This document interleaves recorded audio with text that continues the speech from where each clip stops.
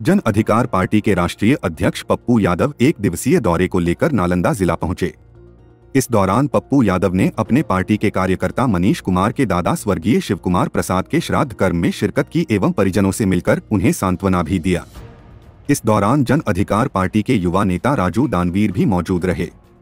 वहीं राष्ट्रीय अध्यक्ष पप्पू यादव ने मोकामा और गोपालगंज उपचुनाव पर चुटकी लेते हुए कहा कि सब जातियों का अपराधी उपचुनाव को लेकर मोकामा पहुँच रहा है। यादव का जितना भी अपराधी ललन सिंह को जिताने की बात कर रहे हैं, वहीं भूमिहार का जितना अपराधी है, वह अनंत सिंह को जिताने की बात कर रहा है। मोकामा उपचुनाव में सब बंटवारा पहले ही हो चुका है। यदि नीतीश कुमार को देश का लीडरशिप बनना है तो उन्होंने मोकामा उपचुनाव में जो परहेज किया है, वह बिल्कुल अच्छा काम किया है। हम तो नीतीश कुमार को इस चीज़ के लिए धन्यवाद देंगे।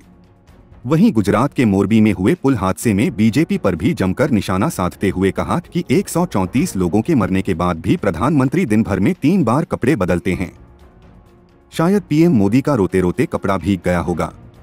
आज जब मोदी का गुजरात दौरा है तो वहाँ अस्पताल की रंगारंग रोहन हो रहा है। जो लोग इस हादसे में बचे हैं, उसके लिए दवाई उपलब्ध नहीं है, और जो लोग इस हादसे में मर चुके हैं उसे देने के लिए दो लाख से ज़्यादा और घायलों को पचास हज़ार से ज़्यादा देने की आपकी औकात भी नहीं है। पचास हज़ार तो पप्पू यादव सभी जगह जाकर लोगों को देने का काम करता है। आपकी सरकार को तो हमसे भी कम औकात है। इसका मतलब सरकार का इंटेंशन सही नहीं है। ललन जी जा रहे हैं कुशवाहा जी थे। सब लोग तो जा ही रहे ना हो। कि नहीं जा रहे हैं?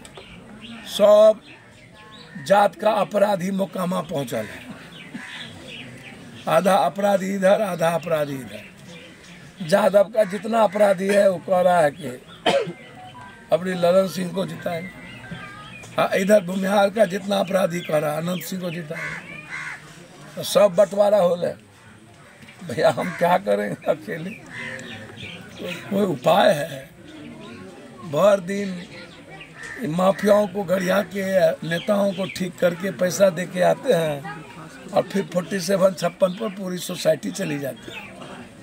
तो ये जो पूछ रहे हैं, नीतीश कुमार जी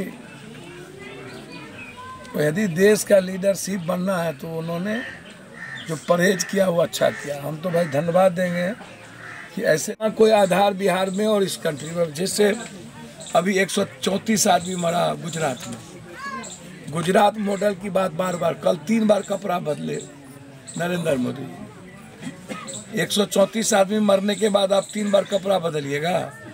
क्या आपका आँख से आँसू भींग गया था? क्या तीनों बार? और आज आप वहाँ जा रहे हैं तो आपके लिए रंग पोताई हो रही है। जो बचा है उसके लिए दवाई मिल नहीं रहा है। जो मरा आप उसको दो लाख से ज़्यादा पैसा देने की औकात नहीं है। पचास हज़ार घायल वाले। पचास हज़ार तो पप्पू यादव हर जगह जाके देता है। तो आपको, आपकी सरकार को हमसे भी कम औकात है। इसका मतलब है कि सरकार की का इंटेंशन सही नहीं है।